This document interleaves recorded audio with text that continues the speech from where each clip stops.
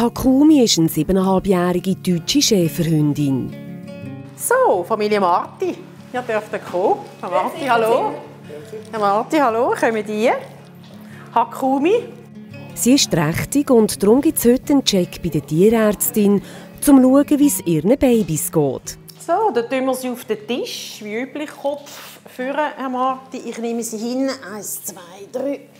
Super, prima. Takumi ist eine Zuchthündin. Untersuch mit einem Ultraschallgerät ist sie sich gewöhnt.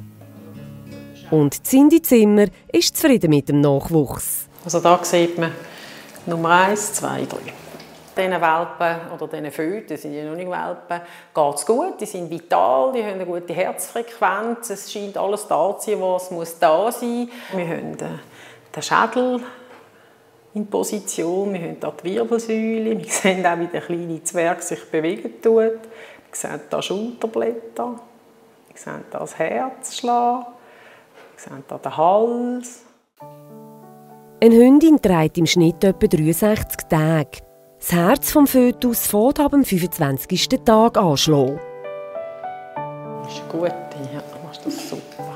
Auch für die erfahrene Tierärztin ist das immer wieder ein kleines Wunder. Ich bin jedes Mal wieder erfasst von dem Gefühl, wie perfekt die Wesen sind. Wie das einfach alles stimmt. Wir können sehen, wie aus so einem Zellhaufen so ein perfektes Wesen wird. Das ist einfach, einfach wunderbar. Es ist wirklich erhebend, das zu sehen. Durch das Messen vom Schädeldurchmesser kann Cindy Zimmer mit der Formel den Geburtstermin berechnen. Das ist bei der Hakumi aber nicht nötig, weil der Decktermin bekannt ist. In gut zwei Wochen sollten die Jungen auf die Welt kommen.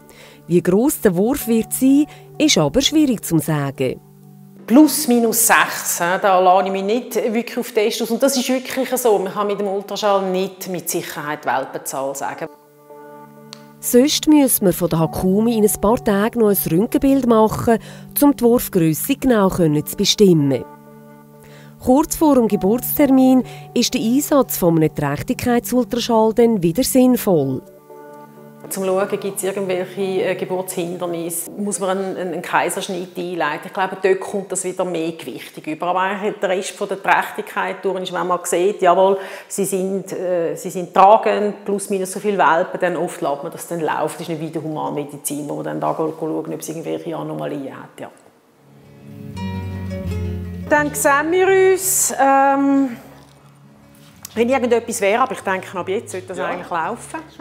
Bei der Hakumi ist soweit alles bestens. Die Ärztin erwartet auch keine Komplikationen. Die Züchter dürfen sich also auf eine problemlose Geburt und einen Wurf gesunde Welpen freuen.